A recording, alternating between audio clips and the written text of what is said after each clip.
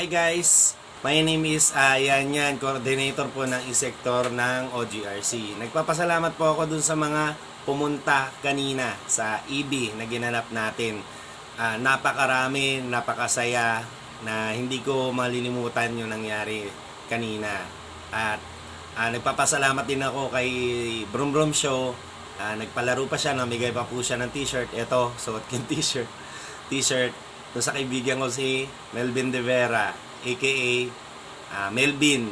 Ah, siya po si Brum Brum Show. Yan, search nyo, tapos subscribe nyo na rin. Manood na lang kayo sa mga vlog niya.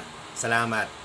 Doon naman sa mga na-deactivate ng account, ah, maaari nyo pong i-PM ah, yung mga leader at coordinator ni Grab doon sa kanilang mga chat box. Kung hindi naman, doon na lang sa ipapa, ipapasa sa inyo ng coordinator na ah, li- list, list, list, listahan yon list ng mga na-deactivate.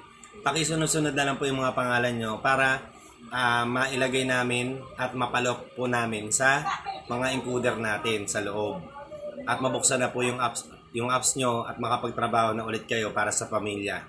Doon naman sa applicant, sir, ma'am, nawala namang trabaho at hindi naman po naging party pa ni Grab, pero naging party po siya ng OGRC.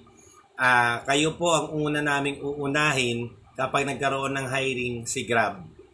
Ah, kayo po ang una namin ipapasok sa bilang bilang rider ni Grab or cyclist. Ah, sa ngayon, stop muna po kami sa sa ano sa tawag nito sa hiring. Tapos kung gusto niyo po ng trabaho, PM niyo lang po ako ah, o kaya si Sir J. Si Sir J, si Sir J, i-PM niyo rin po ah, para sa trabaho na ibibigay namin sa inyo. Ah, at tatawagan namin kayo. Ibigay niyo lang po yung globe number niyo, tatawagan namin kayo para sa trabaho. Ah, doon naman po sa uniform, ah, mayroon po tayo, tayo naka-in-charge dyan. Ah, si Sir J at saka si Ma'am Che.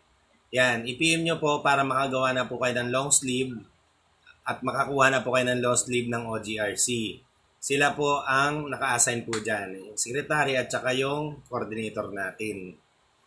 Doon naman po sa ah, ride natin na gaganapin sa March 20, aasahan ko po na marami tayo at ah, makiisa doon sa ride na yon. Buong sektor po yon ng Grab. Ah, yung North, East, South, at saka West. Ah, ano pa ba? Central. Yun. Buong sektor po yon, tutulak po yon papuntang Batangas sa sa ano po yon sa Patungan Beach. So, magkita-kita po tayo ah, sa gaganapin na na EB ulit para sa set ng ng ang lakad natin. So, pag-uusapan po natin doon yung budgeting.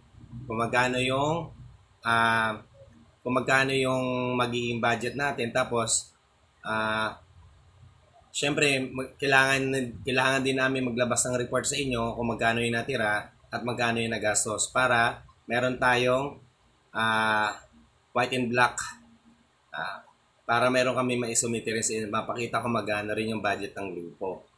Okay? So, ulitin ko po, doon sa mga nabanggit ko, ah i-PM lang po ako doon sa applicant. Tapos sa long sleeve naman, ah si Sir J, yan, at saka si, si, si Ma'am Che, kontakin niyo po. Ayun.